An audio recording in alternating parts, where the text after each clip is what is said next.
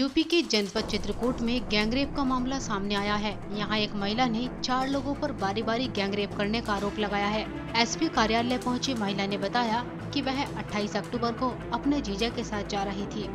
तभी रास्ते में चार बदमाश आए और लूटपाट करने लगे, जिसका उसके जीजा ने विरोध किया। तो बदमाशों ने तमंचे के बल पर उनके साथ मारपीट की और उसके बाद महिला ने जब इसका विरोध किया तो बदमाशों ने उसे झाड़ियों में ले जाकर उसके साथ दुष्कर्म की वारदात को अंजाम दिया।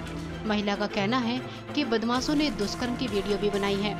महिला ने बताया कि बदमाशों ने उसे धमकी दी है, अगर किसी को बताया तो उसे जान से मार देंगे। और उसकी वीडियो को वायरल कर देंगे। वहीं महिला का आरोप है कि वह कई दिनों तक न्याय के लिए चक्कर काटती रही, जिसके बाद वह एसपी कार्यालय पहुँची और न्याय की गुहार लगाई। वहीं एसपी ने बताया कि बदमाशों के शिनाख्त के आधार पर गिरफ्तारी की जा रही है। अभी तक एक दो आरोपी को गिरफ़्तार कर लिया गया है और बाकी आरोपियों की तलाश जारी है। हमारे बुआ जा रहे थे तो हम कहें उनको हम भी चले गए तुम्हारे बुआ तो हम बुआ उनके गए थे, फिर कहा कहा के शिवपुर के रोड होकर फिर कहा कहा थे हाँ वहाँ आए चार लोग गाड़ी से पकड़ लिया है हम्म।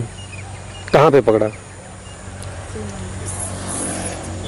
शिव शिव मंदिर के ला फिर क्या हुआ फिर कहा कहा था उनको पकड़ लिया था उनको मारा था हमको भी कहा कहा था फिर उनको मार के हमारे। हम्म, चार लोग रहे थे हम्म। वीडियो एक लोग बना रहे थे।